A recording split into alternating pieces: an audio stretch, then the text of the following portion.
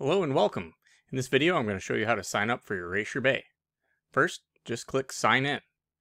Then click it again, and an Authereum pop-up will open for you. Click Create Account, and select your username. Type it in the field below. Click Continue, and then enter your email address and create a password.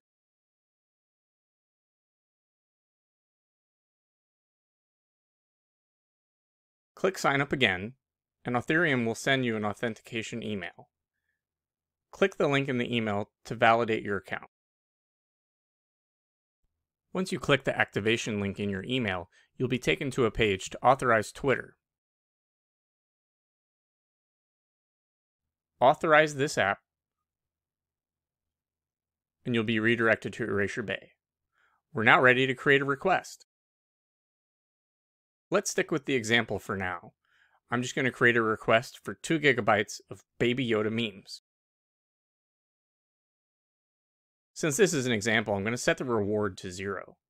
I'm going to require a stake of 100 Dai, and I'm going to set the attack ratio to 0.001. I'm going to give it an attack period of 5 days, and I just click Make Request. I'll confirm this, and now my request has been deployed. The page will refresh once again, and we'll be taken to our request page. We have a confirmation that a request was created, and now we can just check to make sure that the listing is live, and we're done. Congratulations, we just made our first request.